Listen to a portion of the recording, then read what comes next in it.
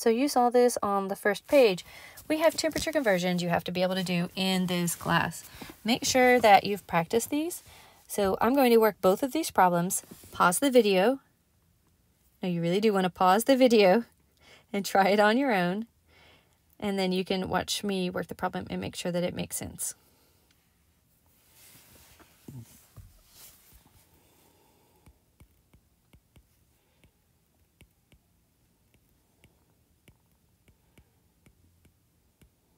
Notice that this 98.6 right here, if we were going to do the math out to side, so 98.6 and um, this is actually supposed to be 32.0.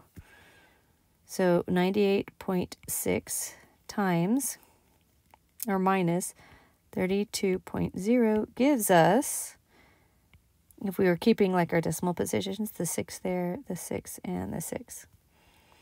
So I would just put this in your calculator, but remember that you're going to keep it to the tenths place. So we've got um, 5 divided by 9 times parentheses 98.6 minus 32.0. So again, we've got that extra decimal place in there, 37.0. Now we're going to add these two together. We know that the 98.6 is actually 37.0. So then when we add these together, we have 273.15 plus 37.0. Mini thermometers will only read to that tenths place. So just be aware of that when you're doing these calculations. So I'm going to add the two together. So 5, 1, 0, carry the 1, 0, carry the 1. And then for rounding, it's going to round, it rounds to that same place value, like it rounds right to there. So it would actually be 310.2 Kelvin. there we go. And this is just comparison of the chart if you've never seen or you're unfamiliar with it. The Celsius and the Kelvin scale, like they match up in certain positions, and, and so does the Fahrenheit scale in a sense.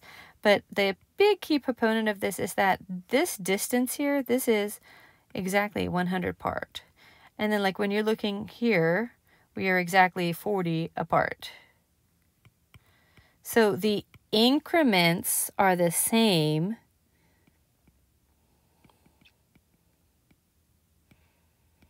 in the Celsius and the Kelvin charts. Now you look at the Fahrenheit and do you see how they're completely off? Like the 180 right there? That increment is not the same increment as 100.